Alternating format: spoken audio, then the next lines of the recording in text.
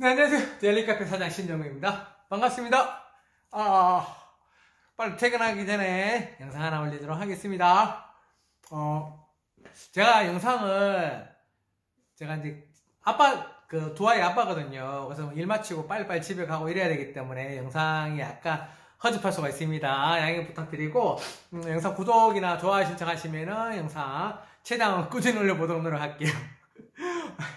자, 오늘은 제가 그 사진 카페를 운영하고 있지 않습니까? 사진 카페로, 카페를 운영하고 있는데, 그 뭐라고 해야 되나. 옛날에 처음에 초창기에 창업할 때는 이제 증명사진도 찍고, 가족사진도 제가 찍어주고, 뭐 이런 생각으로 일단 창업을 했었어요. 했었는데, 실질적으로 이제 하다 보니까 안 돼요. 왜냐면은 커피도 팔아야 되고, 혼자서 커피도 팔아야 되고, 사진도 찍고, 그 도저히 안 되는 거예요. 그 다음에 뭐 코로나도 겹치고 해서 너무 힘들어가지고, 생각하는 게, 이제 많이 흔히 유명, 유명하는 셀프 스튜디오를 한번 만들어 보자 해서 이제 셀프를 운영하고, 특히 이제 흑백 셀프.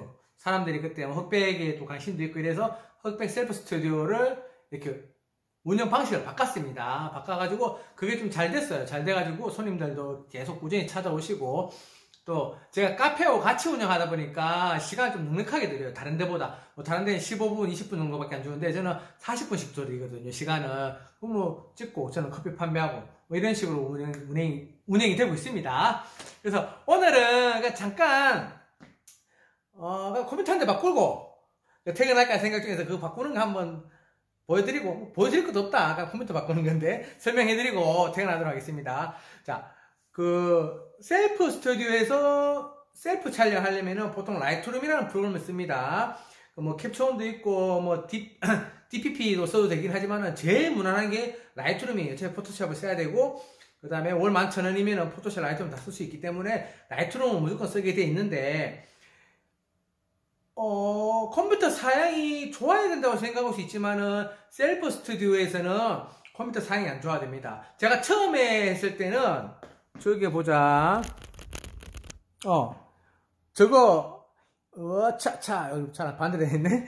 2009년 21인치 iMac을 썼습니다. 엄청 사양이 안 좋은 거거든요. 근데 저걸로도 Lightroom이 돌아가요. 돌아가서 손님들 찍고, 그 찍은 걸 보여주는 것까지는 가능합니다.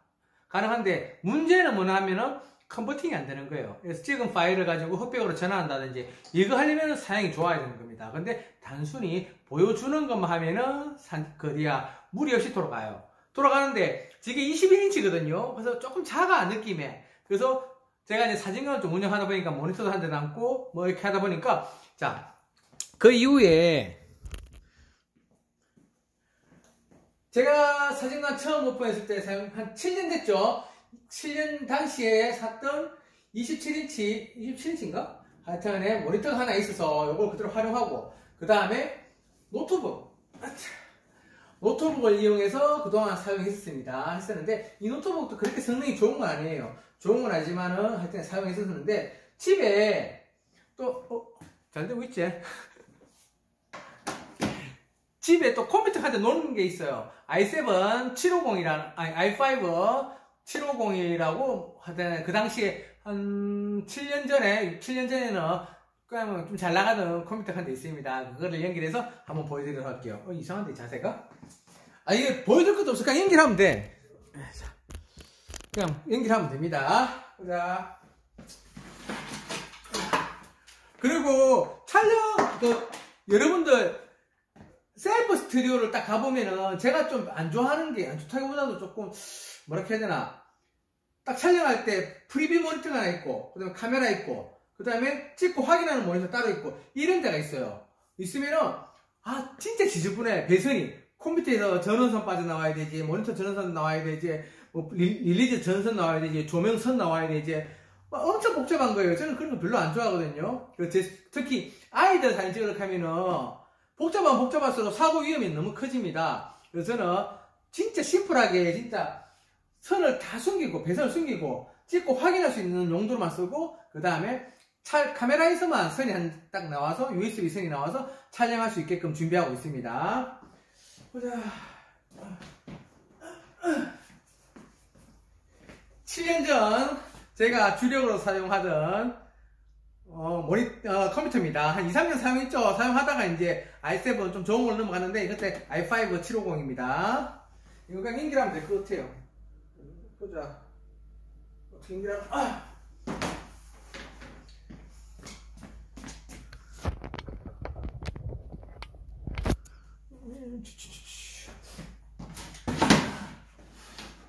배선은 하여튼 벽 뒤로 다 숨겼어요. 벽 뒤로 다 숨겼습니다.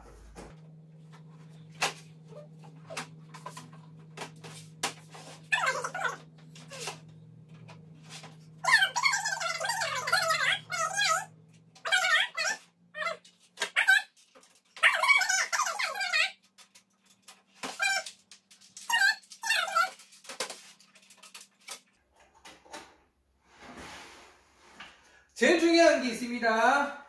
여기 보면은 저는 그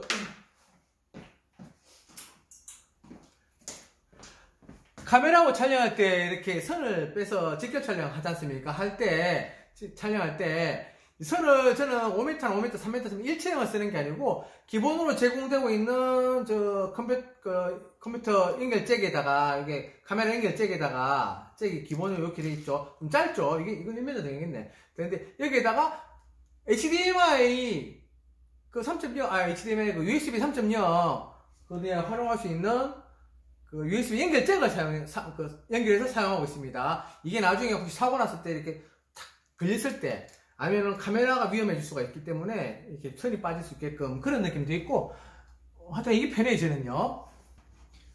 일단 다 연결했습니다. 연결해서 이제 전원 연결해서 컴퓨터 나온 거 확인하고 그 다음에 카메라 연결해서 작, 정상적으로 작동되는가 테스트하고 퇴근할게요.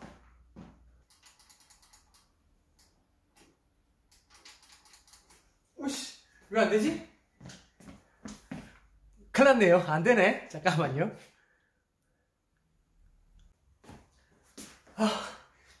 원인이 파워의 전선이 이렇게 접속 불량이에요. 어, 이거 큰일 났어, 이거. 그래서 접속, 접속 불량이라서 전원을 이렇게 전선이 막 꾸깃꾸깃 돼 있거든요. 받치는 정도 한개 집어넣어야 돼, CW.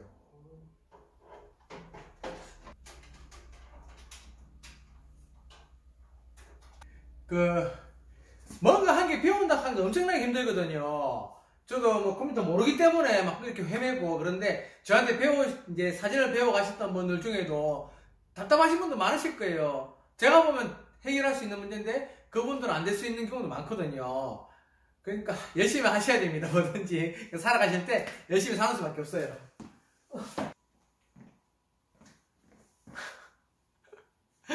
Lightroom 깔아야 돼. 아 미치겠다. 오늘은 이렇게 하고 또 Lightroom 깔고 테스트하는 거 한번 보여드리도록 할게요. 어이 Lightroom도 깔아야 돼. 큰일 났다. 바쁘다. 아 지금 Lightroom 설치하는 동안에 제 카페 한번 소개해 드리도록 할게요. 제가 여기 2층은 스튜디오 공간이에요. 그래서 저 여기서 이제 1층은 카페고 2층은 이제 카페도 하고 예약 받으면은 손님들 촬영할 수 있는 공간인데 여기서 셀프 스튜디오를 촬영할 수 있는 공간입니다. 그렇게 되어 있습니다. 그래서 옛날에 2층에서 스튜디오 했었거든요. 조그만하게 사진관 했었는데 지금은 1, 2층 다 털어서 카페하고 사진관 하고 있습니다. 그리고 이런 식으로 되어 있는데 이제 저 모니터로 이제 찍고 나서 흑백으로 된 걸 확인만 할 수 있게끔 그렇게 되어 있는 겁니다. 그래서 보통 이런 모니터가 예를 들어서 카메라가 이제 여기에 나중에 설치되지 않습니까? 그러면은 막 선이 되게 복잡하고 이런데 저는 이렇게 USB 선만 이렇게 한 개만 빼서 이렇게 빼서 카메라와 연결해서 사용하고 있습니다. 그래서 더 깔끔하게 촬영할 수 있게끔 도와드리고 있습니다. 오, 지금 뭔가 다 됐다. 잠깐만요. 네, 그리고, 아, Lightroom 지금 설치하는 중입니다. 그리고 이제 저기가 이제 촬영 공간입니다. 그래서 배경지 롤지로 내려서 카메라하고 조명은 다 연동되고 그런 식으로 촬영이 진행되고 있습니다. 그 셀프 스튜디오 창업할 때는 실질적으로 돈이 그렇게 많이 들지 않아요. 뭐 카메라도 그렇게 좋은 게 필요 없습니다. 왜 그런가 하면은 손님들한테 카메라 세팅을 다 해놓고 촬영하는 그 순간에는 그 장비가 제 장비가 아니기 때문에 무슨 사고가 생길지 모릅니다. 그래서 비싼 장비를 할 필요는 없어요. 단지 흑백 셀프 아니면 뭐 컬러도 똑같지만 셀프 스튜 셀프 촬영을 할 수 있는 정도의 성능만 있으면 되기 때문에 그렇게 좋은 장비 필요 없습니다. 그리고 요즘 카메라는 워낙에 상향 평준화가 되어 있고 그 다음에 뭐 고감도 노이즈가 안 좋다 할 수 있지만 옛날 카메라들은 스튜디오에서는 셀프로 할 때는 조명이 터지는 공간이기 때문에 ISO 100에서 400 사이에서 왔다 갈 수 있게끔 세팅해 놨고 있기 때문에 노이즈 문제도 크게 문제가 되지 않습니다. 그리고 조리개 값도 거의 한 5.6 이상 놓고 촬영하기 때문에 어, 초점도 그렇게 막 세밀하게 뭐 이렇게 막 광범위에 퍼져 있는 좋은 카메라 그런 것도 필요 없어요. 그래서 저한테 교육받으러 오신 분들 중에는 막 카메라 뭐 300만원짜리 주문해 놨다가 아 제가 그거 사지 말고 중고로 한, 한 3, 40, 한 4, 50만원 정도 body만 되는 거 사시든 사라고. 그 다음에 대신 렌즈는 좀 좋은 거 사라고 그래요. body는 뭐 옛날 구형 body를 쓰라고 이제 최저 기준이 있어요. 그까, 그거를 사라고 하는데 렌즈는 좀 좋은 거 사라고 합니다. 그거는 카메라 그 화질에 영향을 직접적으로 미치는 거기 때문에 렌즈는 좋은 거 사라 그러고 body는 좀 저렴한 거 사라 하면은 어, 돈이 많이 save가 되거든요. save가 되고 그 다음에 이런 view 바로 보여줄 수 있는 그 뭐야 컴퓨터 같은 경우에도 아까 얘기했듯이 구형 iMac도 되고 그 다음에 노트북도 그냥 저처럼 옛날 노트북 써도 되고 그 다음에 뭐 남아도는 컴퓨터 한 대 있으면은 어, 당근에서 이거 솔직히 팔면은 돈도 안 나요. 저기 10만원 못 받을 것 같아요. 제 생각에는. 그래서 제가 쓰기로 마음먹은 거거든요. 그래서 당근이든 어디든가 인터넷 보면은 싼 거 그냥 사셔가지고 우선 너무 또 저렴히 사지 마시고 어, 일단 제게 지금 i5 750입니다 이거는. 그거 좀 참고하셔서 사용하시면은 충분히 셀프 스튜디오 촬영이 가능합니다. 단지 어 솔직히 끊었네? 잠깐만요. 보자 어디갔노 여기. 아 단지 이건 Lightroom 이거는 보여주는 기능만 돼요 이렇게 저렴이 컴퓨터에서는 그래서 converting이라든가 좀 화질을 좀 좋게 해가지고 다시 내보내게 하는 거는 좋은 성능의 컴퓨터 필요합니다. 그거는 이제 메인 컴퓨터가 따로 있어야 돼요. 그때는요. 이거는 단순히 진짜 보여주기 위한 성능의 컴퓨터라는 겁니다. 어...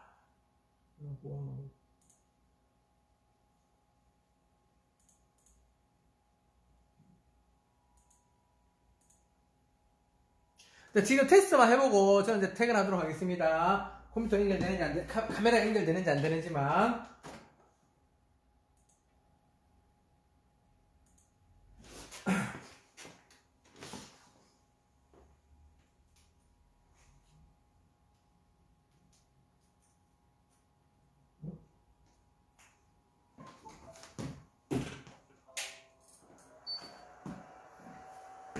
보자. 보여야 되나 이런 것도? 이거 보여야 됩니까? 텐 셀프니까 뭐 테스트니까 뭐 아무거나 빨리 적고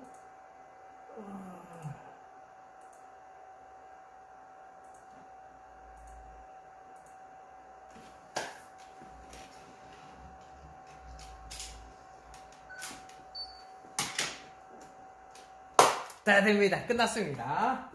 아 이제 노트북 한 개 새로 생겼네.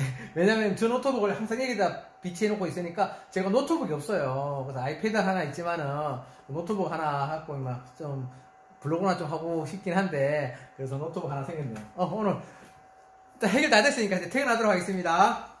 혹시라도 사진관은 줄어들긴 하지만 없어지진 않아요. 그 다음에 뭐 요즘 AI가 많아져서 막 좋은 사진 같은 그림을 만들어주고 있지만은 내 얼굴을 AI가 그려줄 수 있겠어요? 안 그래요. 언젠가는 그려줄 수 있겠지만은. 그래서 한, 한동안 계속 꾸준히 사진관은 있어요. 있어야 되기 때문에 저한테 사진관 창업이라든가 셀프 스튜디오 사진 카페에 관련돼서 뭐 배우고 싶으신 분들 있으면은 제가 또 하루 단위로 교육도 해드리고 있으니까 문의해 주셔도 됩니다. 저는 커피파는 포토래퍼 신영명이었습니다. 감사합니다. 오늘 급해서 영상 빨리 했습니다. 말도 엄청 빨랐죠? 죄송합니다.